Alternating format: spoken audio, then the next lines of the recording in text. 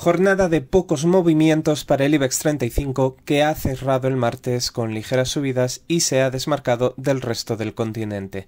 Las principales plazas europeas han despedido la sesión a la baja después de que el gobierno chino haya decepcionado con las medidas económicas anunciadas durante la madrugada.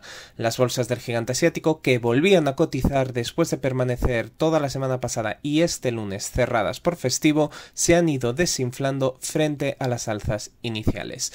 Los valores europeos, cuyos negocios están vinculados con el gigante asiático, como el lujo o las acereras, también han cedido posiciones. Además, los fabricantes de bebidas alcohólicas han caído después de que Pekín haya anunciado aranceles al brandy europeo en respuesta a los aranceles a las importaciones de coches eléctricos producidos en China.